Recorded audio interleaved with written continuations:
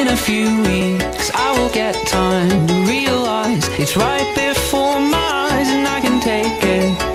If it's what I want to do And I am leaving and this is starting to feel like It's right before my eyes and I can taste it. It's my sweet